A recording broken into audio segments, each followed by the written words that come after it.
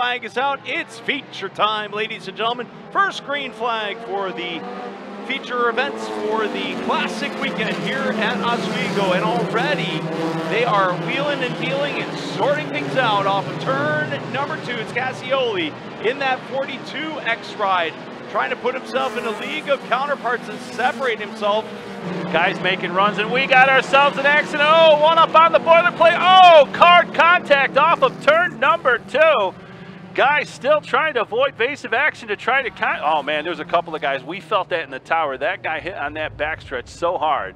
Zero trying to file on through to the inside and drag racing it into turn three and four. Bulger in the double zero will back off just a little bit. He's trying to fill in the inside and make that machine stick to the inside like glue.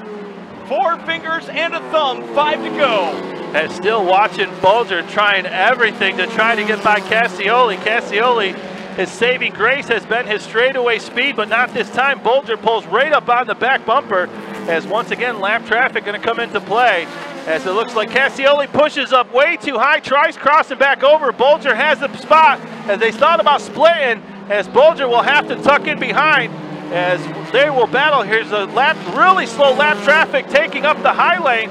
And the white flag is out. Cassioli in the 42 trying to make a run. He's led it wire to wire, but here comes Bulger. Bulger to the inside, drawing alongside. Cassioli in the 42, lap traffic right in front of them into turns three and four. Ladies and gentlemen, hold on and scores be ready as they work off the apex on the throttle again. Here they come. Checker flag is out. Give the nod to the 42 of Cassioli. He is in for the win. A great race indeed.